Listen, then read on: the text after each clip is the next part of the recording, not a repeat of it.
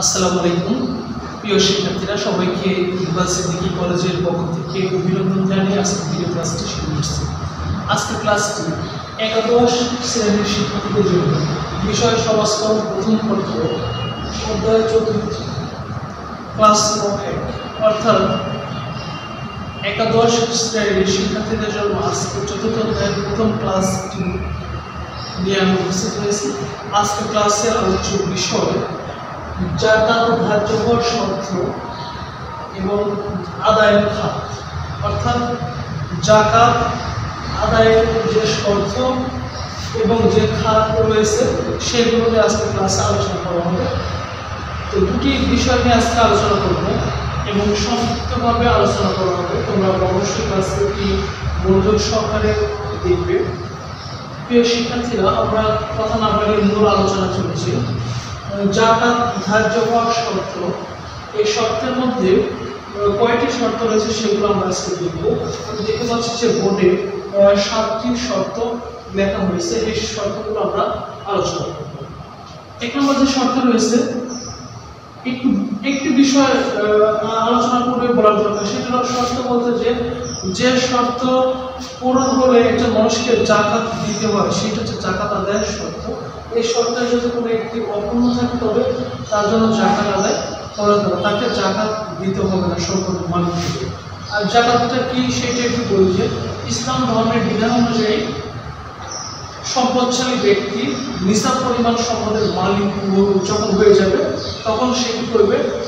সম্পদের একটি নির্দিষ্ট অংশ, নির্দিষ্ট খাতে ব্যয় করবে। সেটি হলো জাকাত। অর্থাৎ এটি ইসলাম ধর্মের বিধান অনুযায়ী পরিচালিত একটি আর্থিক ইবাদত। ইসলাম ধর্মের যে পাঁচটি মূল ভিত্তি, তার মধ্যে একটি হলো জাকাত। তো এই জাকাত এখন কোন কোন মানুষগুলো দিবে, কারা দেবে সেই বিষয়গুলো এবং একজন মানুষ জাকাত যখন প্রদান করবে, কোন শর্তগুলো তাকে পূরণ করতে হবে সেইগুলো হলো জাকাতের শর্ত। তো জাকাতের শর্তের মধ্যে প্রথম রয়েছে মুস- হচ্ছে মুসলিম হওয়া অর্থাৎ কোনো হিন্দু বা খ্রিস্টান বা বৌদ্ধ অন্য কোনো ধর্মের মধ্যে জাকাত খরচ নয়। এইটি হলো? মুসলিম হতে হবে ব্যক্তিকে, মুসলমান হতে হবে। মুসলমান না হলে তার তো জাকাত খরচ নয় অর্থাৎ জাকাত আদায়ের জন্য বা দা- জাকাত ধার্য করতে হলে বা জাকাত যার কাছ থেকে নেওয়া হবে বা জাকাত যে প্রদান করবে সেই সম্পদশালী ব্যক্তি যদি মুসলমান না হয়, তাহলে তার জাকাত খরচ নয় এরপর রয়েছে সেটি হলো সুস্থ জ্ঞানের অধিকারী হওয়া অসুস্থ কোনো ব্যক্তি, অজ্ঞান কোনো ব্যক্তি, যার যে জ্ঞান সম্পন্ন নয়, পাগল কোনো ব্যক্তি বা মানসিক সমস্যাগ্রস্ত কোনো ব্যক্তির উপরে জাকাত খরচ হবে অসুস্থ কোনো ব্যক্তি করে জাকাত খরচ হবে তাহলে ব্যক্তির সুস্থ জ্ঞানের অধিকারী হতে হবে। সুস্থ জ্ঞানের অধিকারী হতে হবে, তবে তার উপর জাকাত খরচ হবে এরপর যে সেটি হলো স্বাধীন ব্যক্তি স্বাধীন না হয় পরাধীন হয় তো তারপরে জাকাত খরচ হবে এখানে স্বাধীন বলতে কি বোঝাচ্ছে? যে সে সময়ে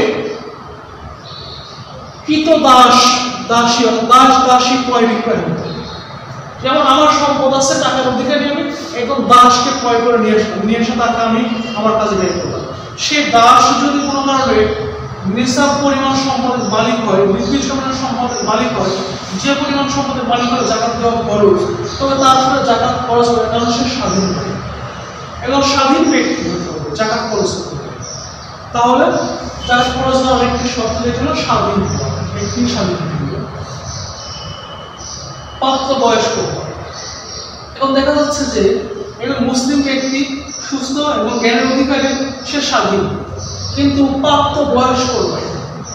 সে শিশু। শিশু উপরে জাকাত খরচ হবে তাকে প্রাপ্ত বয়স্ক হতে তারপরে কি হবে জাকাত খরচ হবে এবং প্রশ্ন হতে পারে যে প্রাপ্ত বয়স্ক শিশু কীভাবে জাকাত প্রদান করবে সম্পদের মালিক হতে পারে? কোনো কারণ হয়তো বাবা মা বা দাদা সবাই মারা গেছে। ছোট শিশু সেই তো সেই সম্পদের মালিক। তো সম্পদের মালিক হলো সে, ওই জাকাত, ওই সম্পদের জাকাত দেবে না। কারণ প্রাপ্ত বয়স হলে জাকাত খরচ পাঁচ নম্বরে যে শর্ত রয়েছে সেটা হওয়া। একটি উদাহরণ দিই যে আমি যদি জাকাত জাকাত যতটুকু সম্পদ, দ্বিতীয় ততটুকু সম্পদ আমার মালিকানায় থাকে, কিন্তু আমি ঋণগ্রস্ত। যে আমি ঋণ পরিশোধ করার পর যতটুকু সম্পদ থাকলে জাকাত খরচ ততটুকু সম্পদ আমার কাছে থাকছে না। তখন আমার কোনো জাকাত খরচ নেই। কিন্তু দেখা যাচ্ছে যে আমি ঋণ ঋণগ্রস্ত ঋণ মুক্ত না।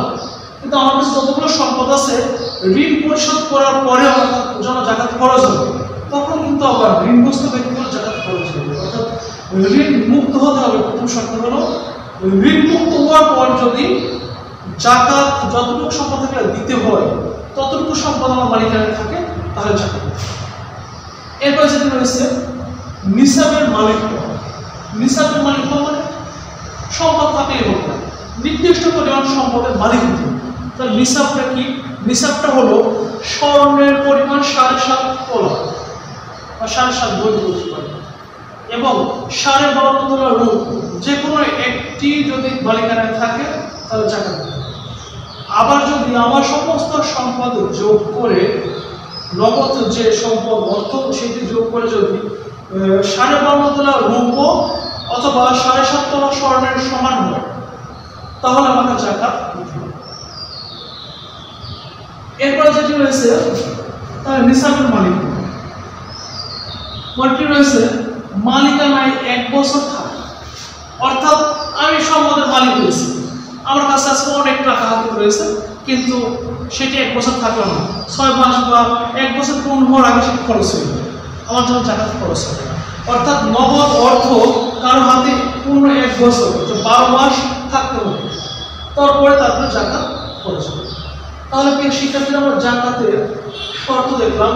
এ পর্যায়ে রয়েছে জাকাতের খাত। অর্থাৎ কোন কোন সম্পদের উপরে জাকাত প্রদান প্রথম রয়েছে স্বর্ণ।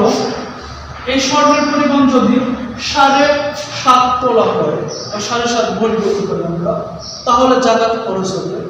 রূপের পরিমাণ যদি সাড়ে বারো তোলা হয়, জাকাত খরচ হবে।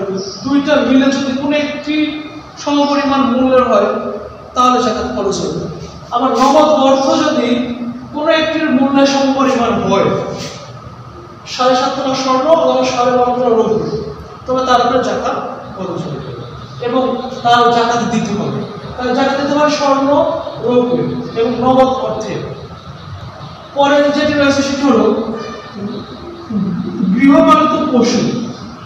আমরা যে পশুগুলো পালন করি, উট, মহিষ, গরু দম্বা ভেড়া, ছাগল, এগুলোর জাকাত জাকাতের বিধানগুলো কোনগুলো গৃহপালিত পশু বলতে এখানে বড় যেগুলো উট, মহিষ, গরু, এদের ক্ষেত্রে জাকাত দিতে হবে, প্রতি ত্রিশটির জন্য একটি করে। কয়টির জন্য? প্রতি ত্রিশটির জন্য একটি করে পূর্ণ এক বছরে। এক বছর পূর্ণ হয়েছে এমন একটি বাছুর গরু, গরুর জন্য বা মহিষের জন্য, বাছুর মহিষ উটের জন্য এক বছর বয়সের উট এগুলো জায়গা দিতে হবে। এবং ছাগল, ভেড়া বা দুম্বা, যেগুলো ছোট প্রাণী, সেগুলোর ক্ষেত্রে প্রতি চল্লিশটিতে একটি অর্থাৎ চল্লিশ ভাগের এক ভাগ জাকাত প্রদান। আর এই নবদন্ত বা স্বর্ণরূপ এগুলোর ক্ষেত্রে হিসাব হলো শতকরা আড়াই টাকা, অর্থাৎ দুই টাকা পঞ্চাশ পয়সা এবং হাজারে হয় পঁচিশ টাকা। এই হারে জাকাত প্রদান করতে হবে। হাজারে কত টাকা?